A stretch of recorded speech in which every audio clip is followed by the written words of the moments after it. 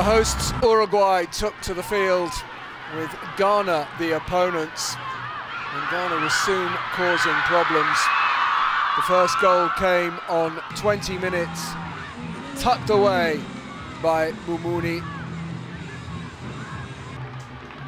Lovely turn, clever finish, and good wing work from Grace Anima soon set up another. 25 minutes played, and the header from Mukarama Abdulai made it 2 0.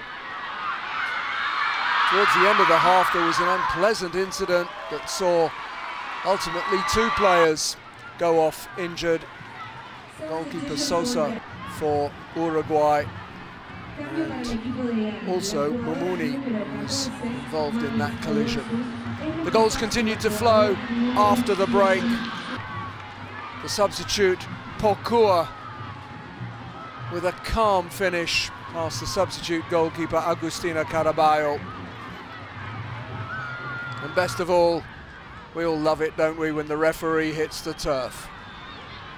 The substitute, Susi Teye, set up number four. The second of the game for the captain, Abdulai. What a calm finish this was.